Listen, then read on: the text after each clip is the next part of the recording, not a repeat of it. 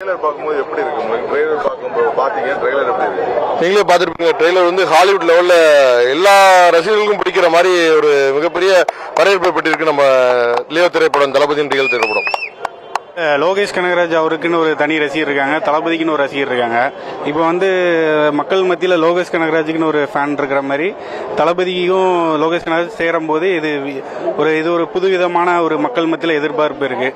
இது ஒரு நல்ல ஒரு மக்கள் மத்தியில் ஒரு ஹாலிவுட் லெவலில் படம் வந்து பேன் இந்தியா படம் வந்து தளபதிக்கு அடுத்து ஒரு புதிய அத்தியாயமாக இருக்குங்கிறத ரசிகர்களாக நாங்கள் வந்து அதை எதிர்பார்க்குறோம்.